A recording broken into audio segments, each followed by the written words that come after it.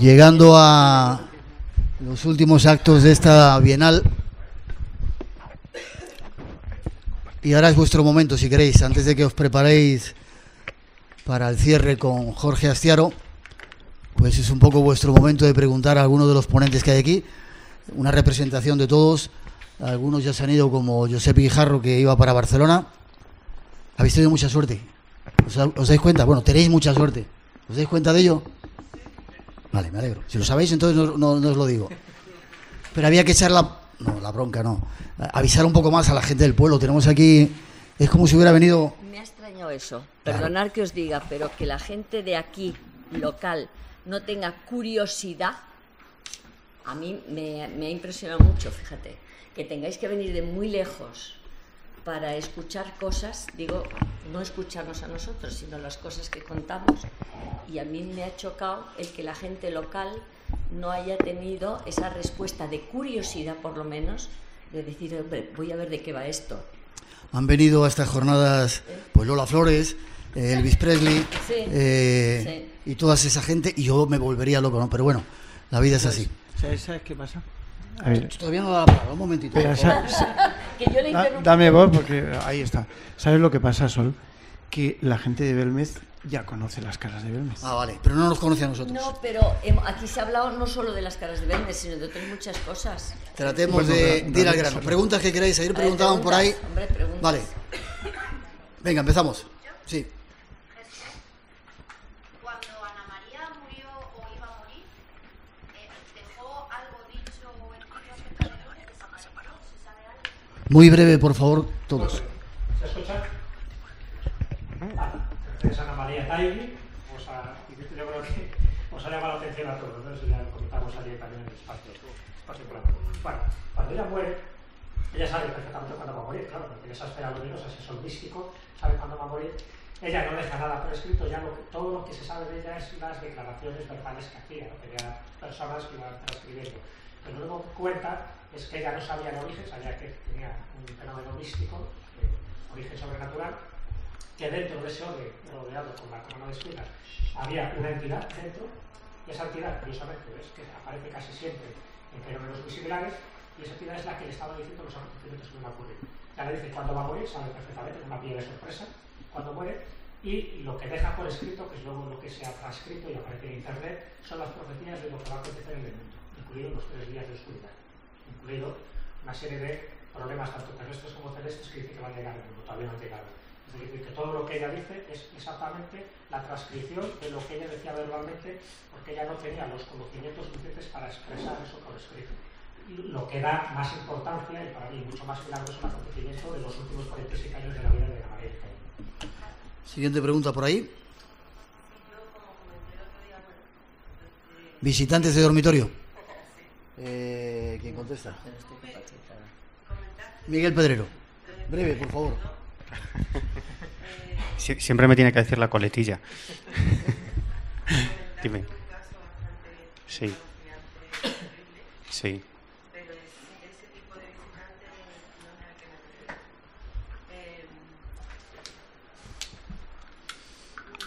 ¿A, a cuál te refieres?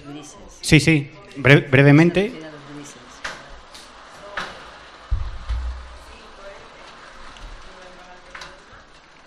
vienen vestidos de blanco, con una eh, de cintura para arriba se ve un- como un cuerpo translúcido, pero de cintura para abajo no hay nada, solamente la túnica.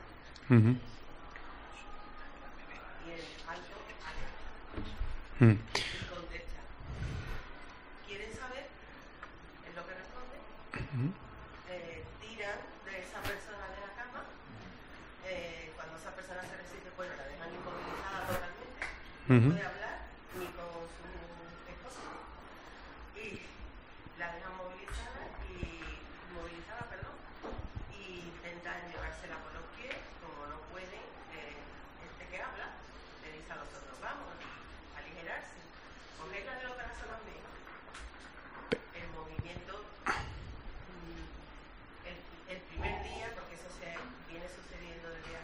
si puedes, ¿vale? Breve.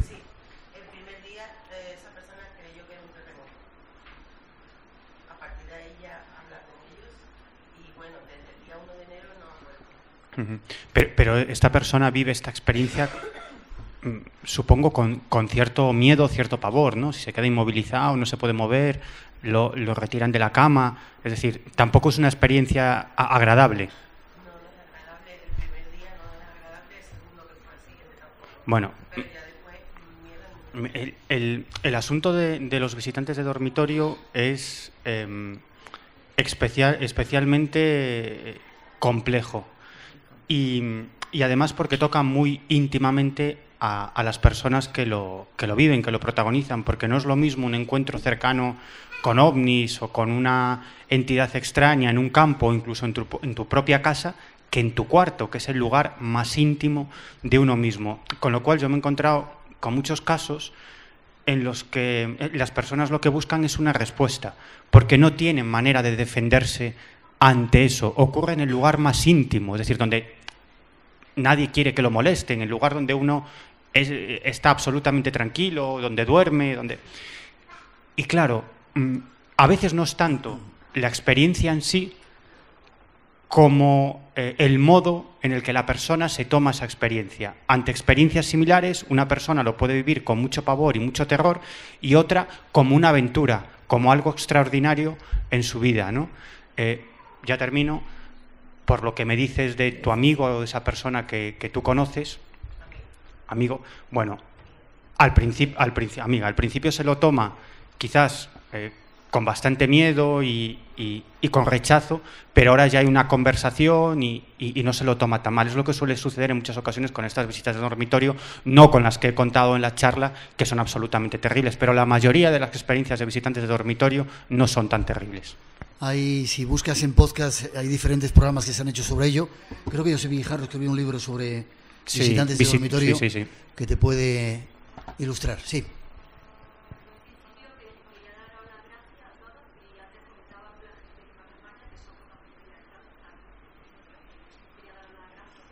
Disculpa, así lo creo yo y últimamente que estoy muy peleón trato de hacer remarcar eso, ¿no?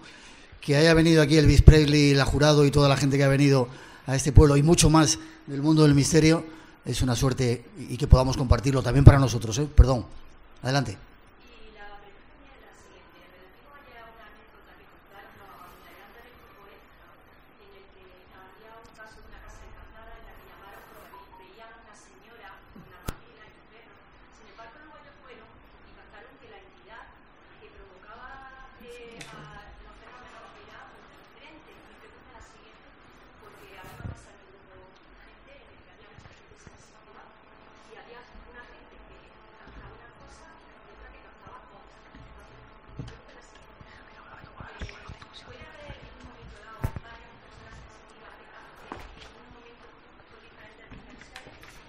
Vamos a ver, yo te voy a clarificar.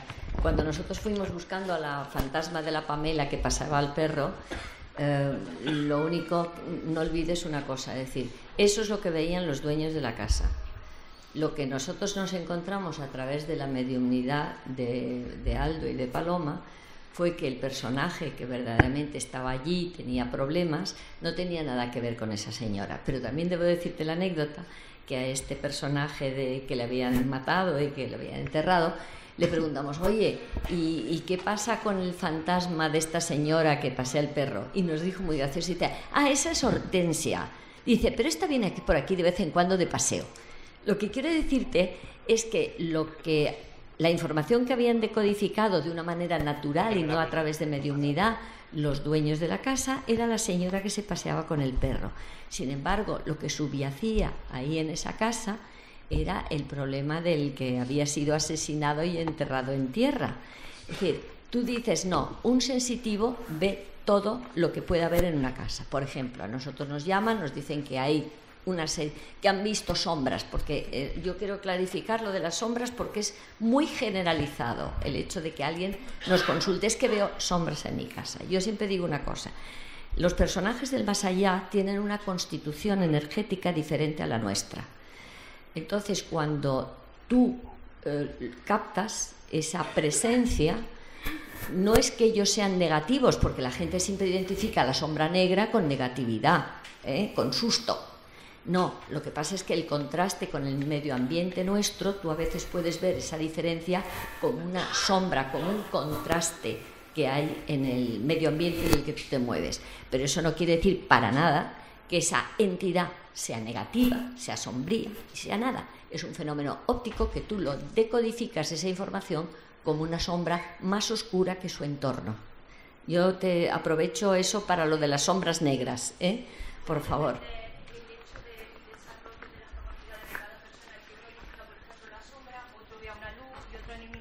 Vea simplemente que se distorsiona la imagen. Bueno, vamos a ver. Cada mm, persona sensitiva tiene como un código.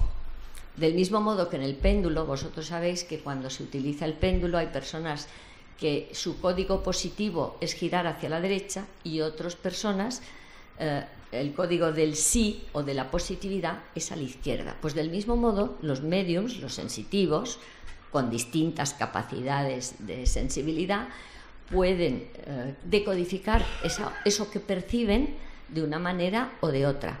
Hay veces que ven personas muy nítidas, otras que ven mm, como seres más luminosos, pero sin detalle.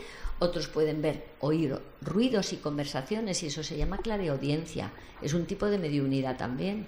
Te estoy diciendo de sensibilidad humana, no la tecnológica, no la de los aparatos, sino de, de personas.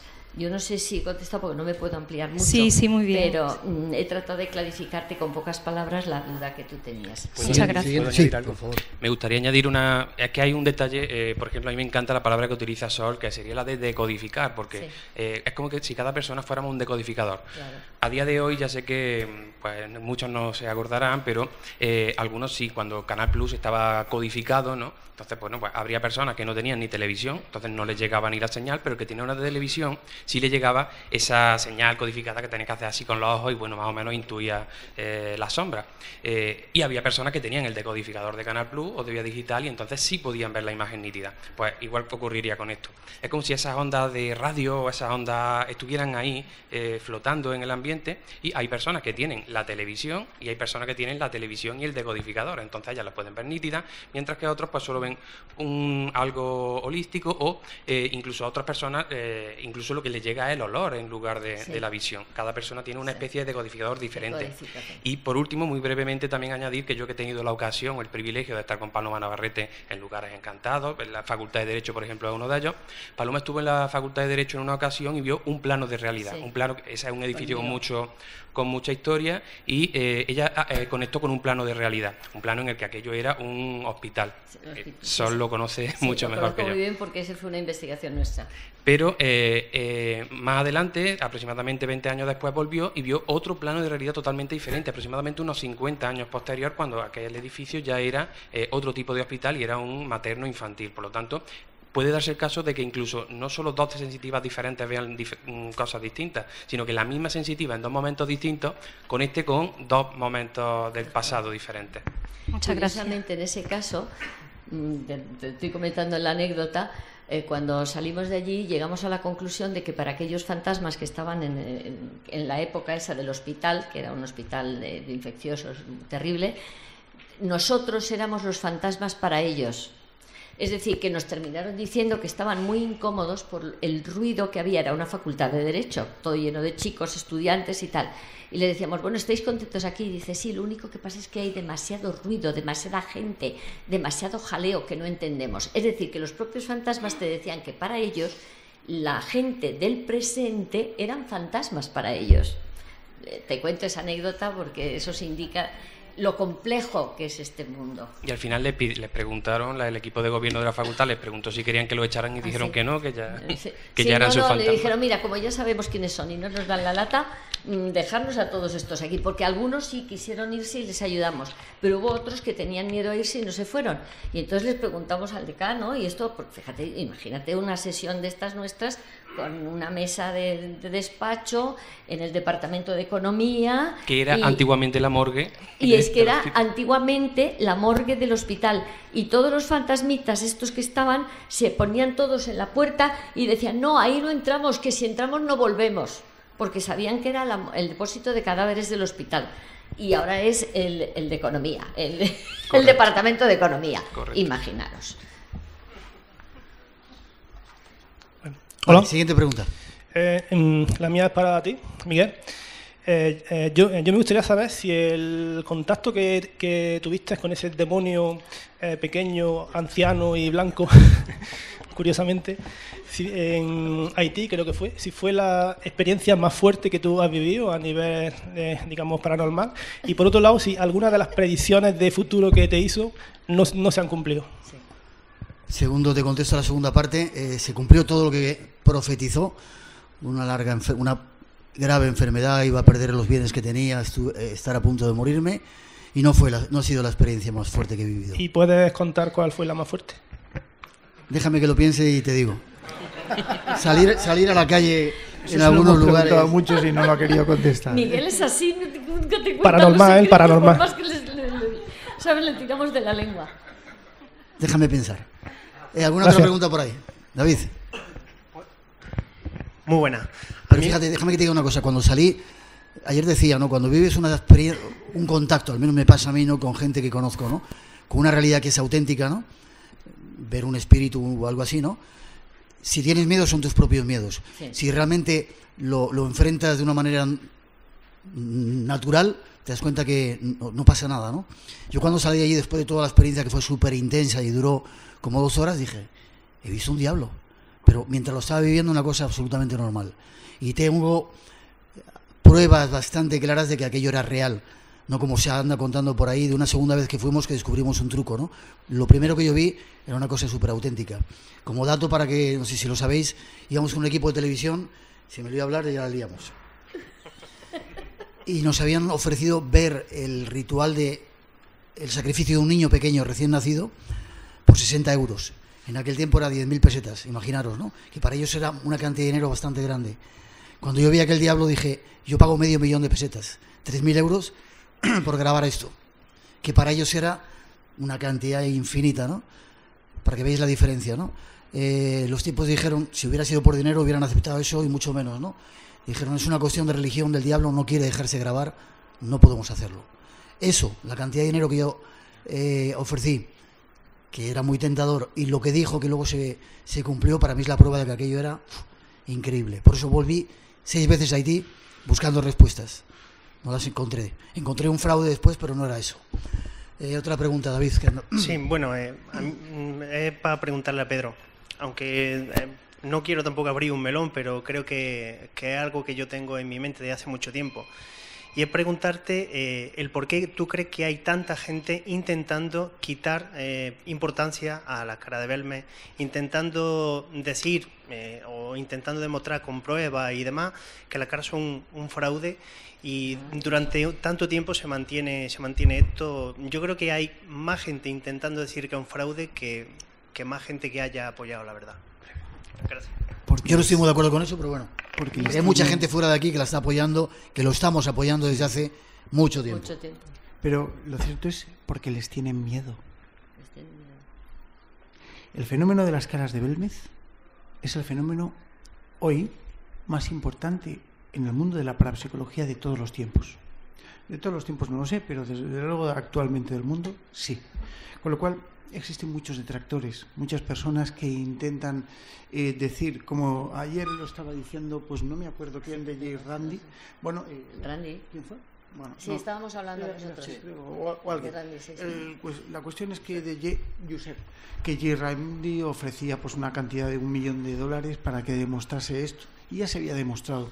La verdad es que nadie, nada, ni nadie eh, había podido hacerlo. Ni siquiera Uri Geller, ni otros eh, psíquicos muy, muy, muy potenciados. Entonces, eh, el grupo de detractores, de los cuales vosotros sois totalmente conscientes de el daño que intentan hacer, yo les he denunciado. Mm, Yo creo que todos los que estamos en esta mesa hemos sido marcados por ese dedo horrible, simplemente porque estamos investigando esto. Y nos tratan como advenedizos, como estafadores, como no sé por qué, no sé por qué, personas que locos, bueno, eh, pues cada uno hace lo que le gusta. A otros les gusta cazar moscas y a otros sembrar lombrices.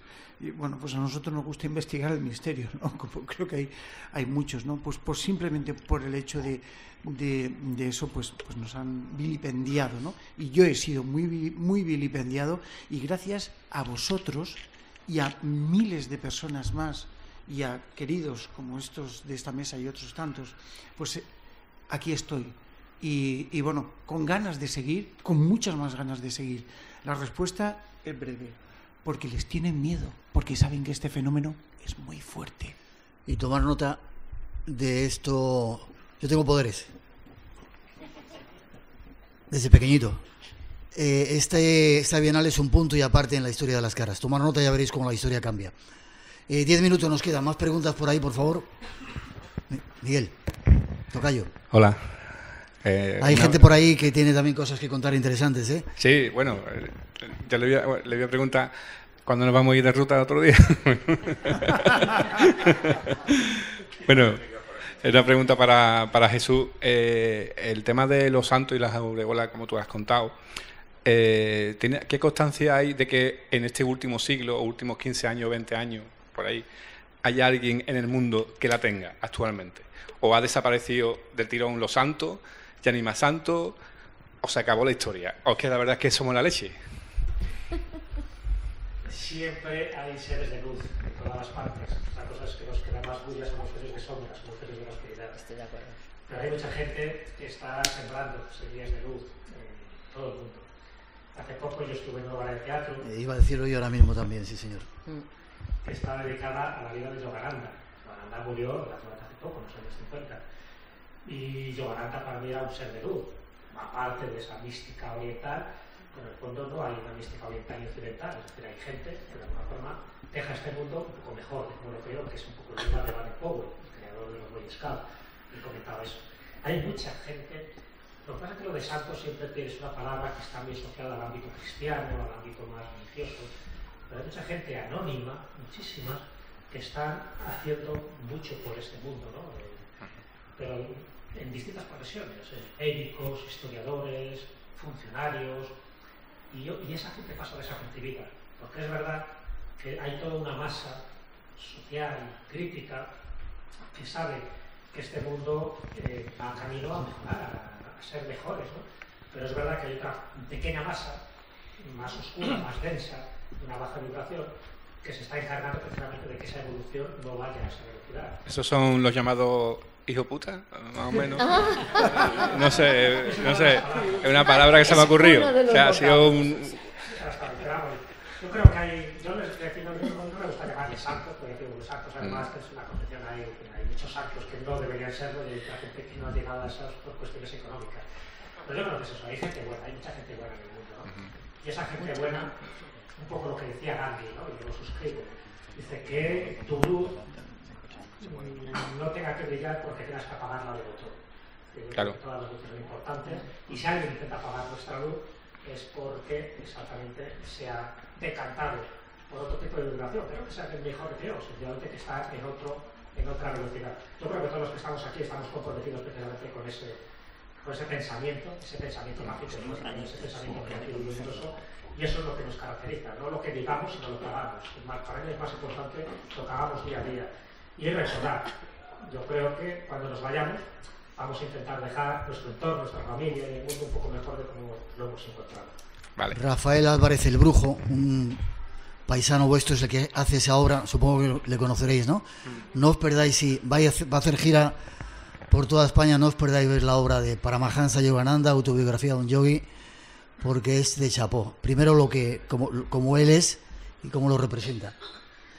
Y como un tío como él, a ese nivel de público que tiene, ¿no?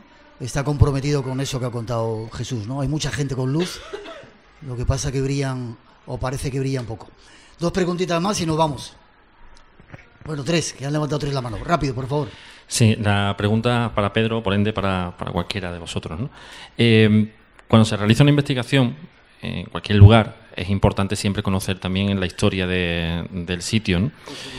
Eh, pero ¿hasta qué punto el conocer esa historia del sitio puede llegar a ser sugestionable para la persona o puede llegar a ser incluso hasta una programación, una PNL para aquellas personas que están alrededor y conocen, conocen esa historia? Te voy, te voy a responder muy breve. Eh, estamos, eh, como ayer dije, eh, viviendo un momento importante. Miguel ha apuntado ciertas cosas, pero sí que estamos viviendo un, Miguel- eh, un- momento importante en la, en la transformación de las caras. están pasando algo, ¿no?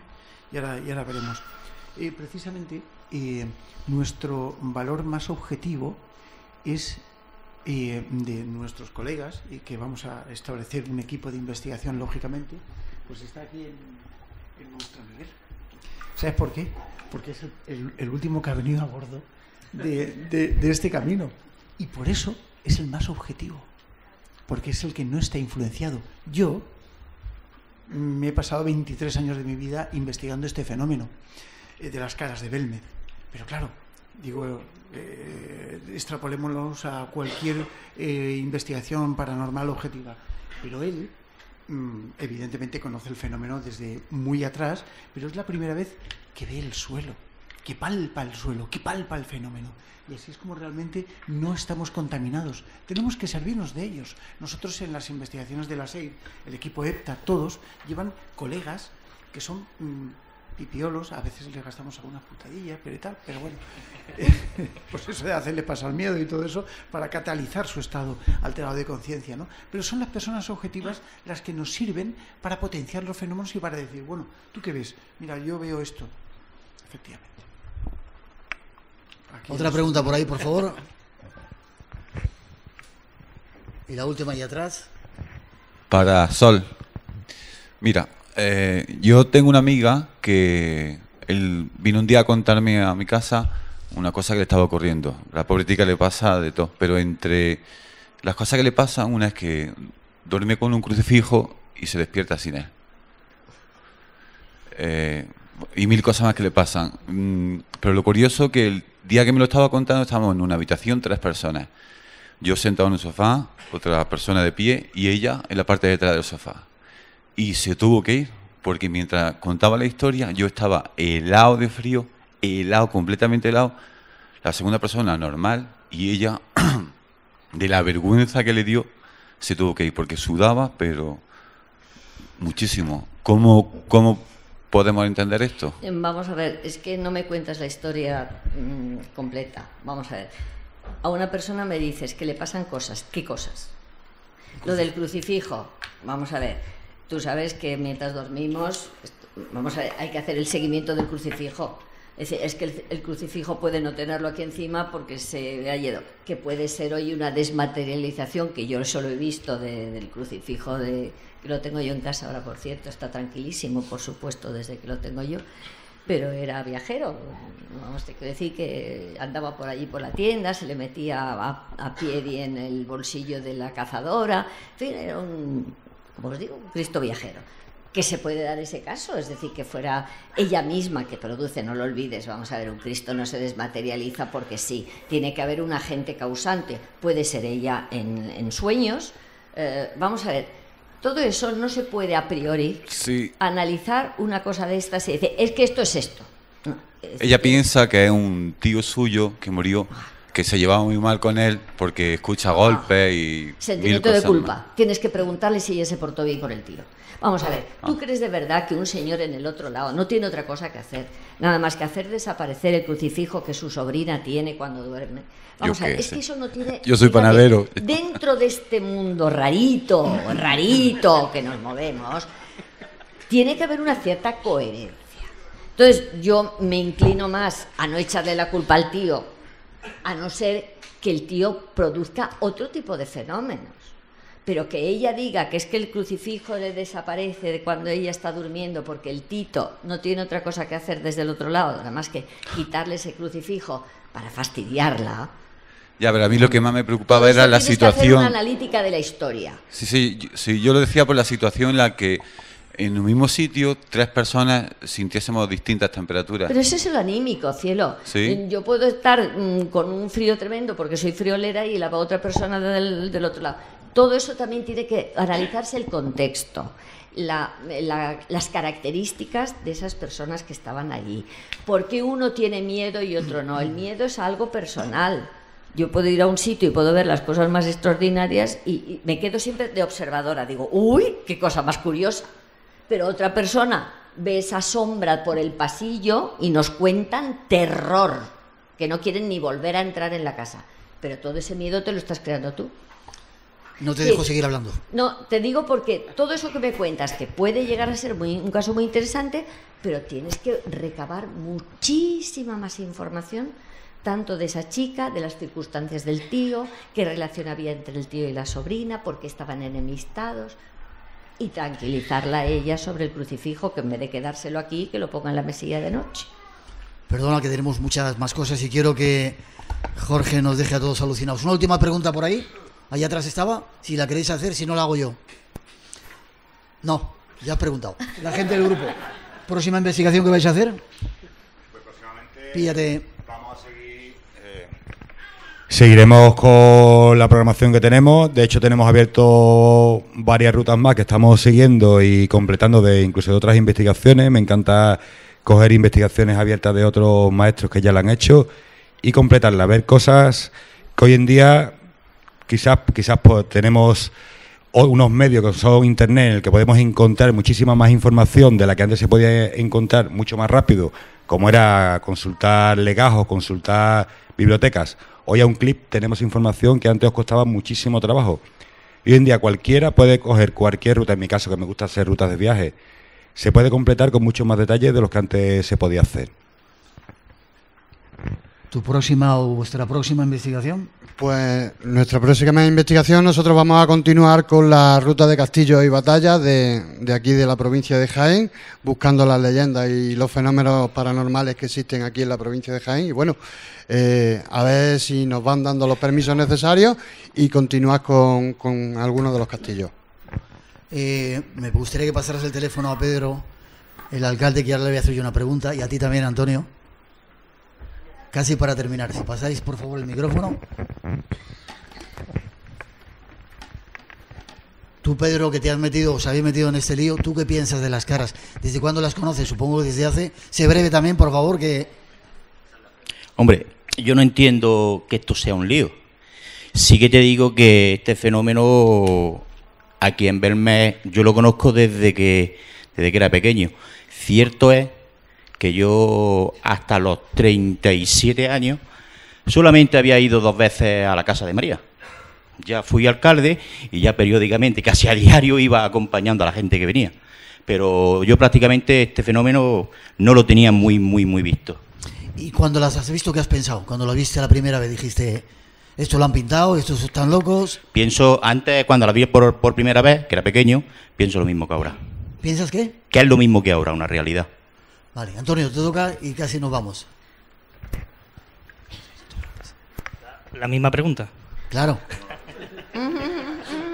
Eh, yo voy a ser breve. Energía. Todo Ya, energía. ¿Pero qué pensaste cuando llegaste allí? Eh, Bueno, yo era muy cuando viste pequeño. a María, cuando viste a la familia. Yo jugaba en esa calle y había días que no venía nadie y semanas que no venía nadie, pero yo sí entraba a casa de María y un día estaba aquí y otro día estaba en otro lado. Y yo sí he visto las transformaciones. O sea que yo creo que es cierto, pero que todo es energía. Es lo que pienso. Vale. Eh, sí. Un apunte, Miguel. Eh, yo sí que te digo que yo cada vez que veía a María me daba mucho miedo. Era un ser muy especial. Yo daros las gracias a los dos antes de despedir al, ayuntamiento por haber montado todo esto. Gracias a Protección Civil. Hay gente que hace un montón de cosas de forma callada y no nos damos cuenta. Ellos son algunos de las personas que lo hacen. Así que yo un aplauso para vosotros antes de irnos.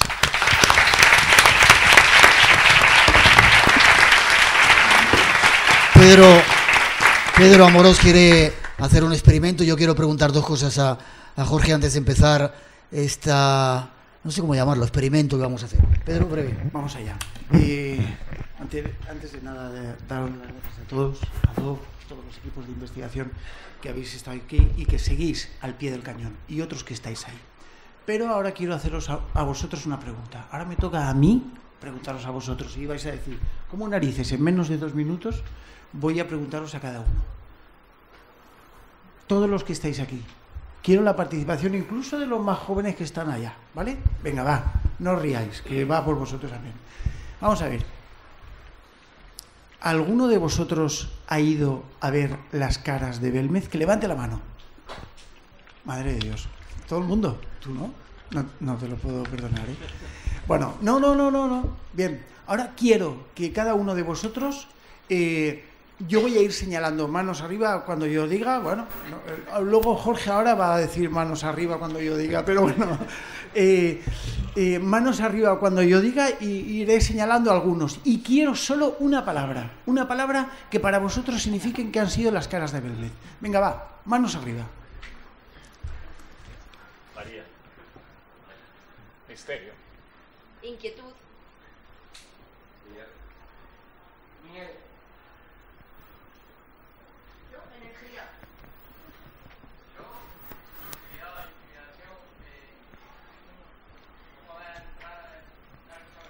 Una palabra. Los jóvenes da al fondo. Allá. Los jóvenes me interesa, venga, va. Venga.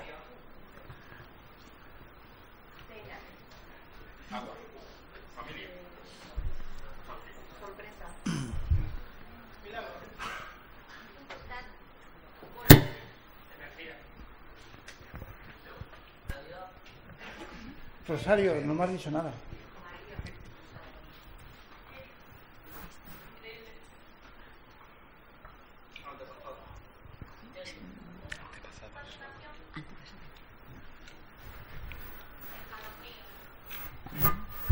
Gracias. Eso son las caras de Belmed.